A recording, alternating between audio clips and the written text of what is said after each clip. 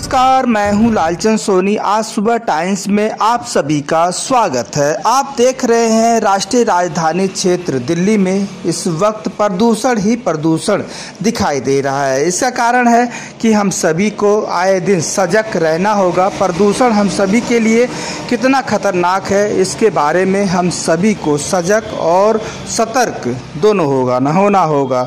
क्योंकि प्रदूषण हम सभी के लिए जानलेवा हमला जिस तरह से यह प्रदूषण को देखते हुए हम सभी लोग जो है खेत में पराली जलाते हैं और अन्य कूड़े करकट जलाते हैं, इससे प्रदूषण अत्यधिक मात्रा में होती है। आए दिन प्रदूषण से मार झेल रहे हम सभी मानव जातियों को काफ़ी नुकसानदायक बना रखा है, क्योंकि इससे विभिन्न तरह की बीमारियाँ और विभिन्न तरह के हम सभी को कष्ट देते हैं। प्रदूषण से जानलेवा हमले भी जिस तरह से देखने को मिलते हैं, प्रदूषण से खतरनाक हम सभी के शरीर में जाता है, वही घुल मिल जाता है और वह सांस के थ्रू हम सभी को रोगी बना देता है।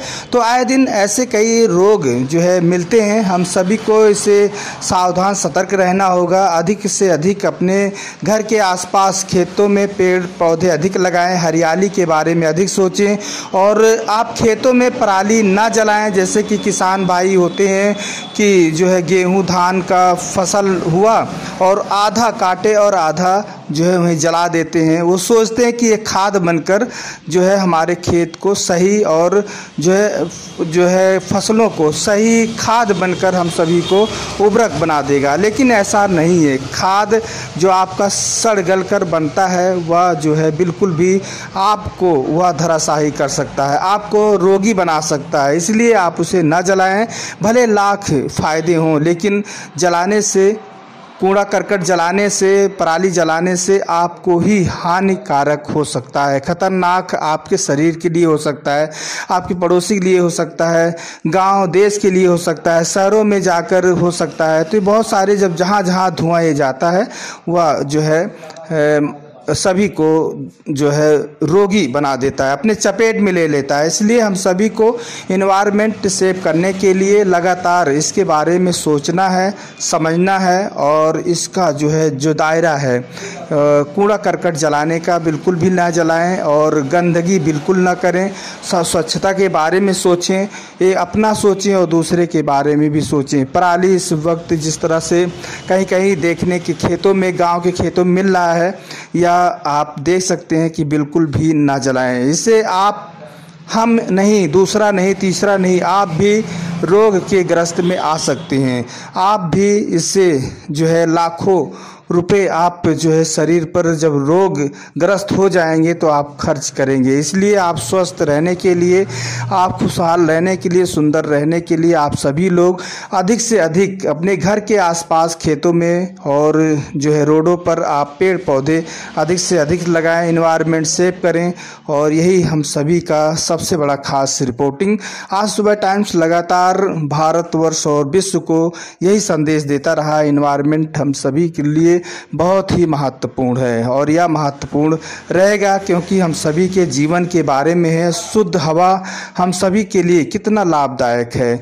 तो प्रदूषण यदि अभी कहीं जो है थोड़ी सी प्रदूषण दिखाई देती है तो हम सब कितना कष्टदायक महसूस करते हैं। तो वही है, हम सभी को सजग, जागरूक और सतर्क रहना होगा और प्रदूषण के बारे में हम सभी को जो है इसे दूर भगाएँ और इसे खात्मा करें और इन्वायरमेंट सेव करें। पर्यावरण सेव करें, स्वच्छ, सुंदर बने, जो भी आप खाते पीते हैं वो अच्छा रहेगा। तो इन्वायरमेंट के बारे में आप सभी से खास अपील है कि आप अधिक से अधिक पेड़ पौधे लगाइए। फिर हम आपसे मिलते हैं किसी मुद्दे के साथ। तब तक अपना ख्याल, परिवार, देश का ख्याल रखें। जय हिंद, जय भारत। तो हमारे सहयोगी जो है तिलकधारी जी वहाँ पर पहुँच अपनी जो है रिपोर्टिंग आज सुबह टाइम्स टीम को दे रहे हैं। खास रिपोर्टिंग आप देखिए। Pulau.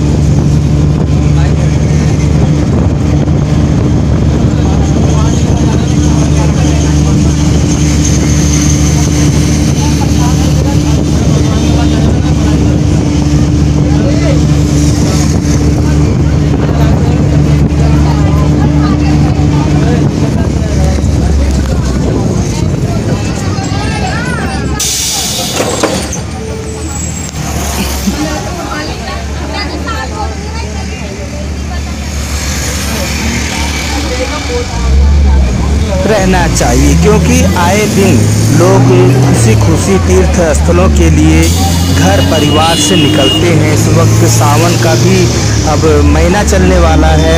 बाबा भोलेनाथ के लिए सभी भक्त, शिव भक्त ज़रूर से ज़रूर निकलेंगे रोडों पर और बाबा जी का दर्शन करने के लिए लोग जाएँगे। तो वहाँ पर भी नदी या गंगे माँ का जो है नदी रहा होगा तो वहाँ पर भी आपको काफ़ी संभाल कर और सही सुरक्षित आप स्नान करते हुए आप स्नान और तीर्थ स्थलों पर दर्शन करें।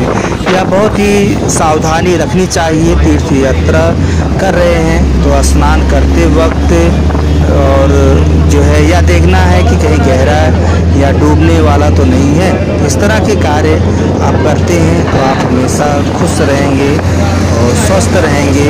हम सबको विशेष ख्याल इसी बात का रखनी होती है। अपने जीवन को लेकर गहराई और का भी माप मन में रखनी चाहिए और सतर्क सावधान हमेशा रखनी चाहिए।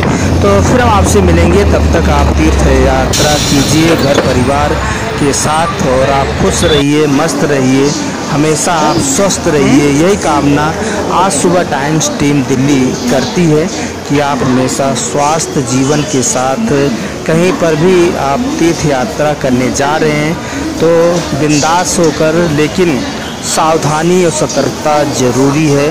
जैसे जहाँ पर लागू हो आप वहाँ पर अपने मन तन को आप नमस्कार दोस्तों मेरे चैनल को सब्सक्राइब लाइक करें और आइकॉन को ज़रूर दबाएँ ताकि आने वाले वीडियो को अपना ख्याल परिवार देश का ख्याल रखें। जय हिंद जय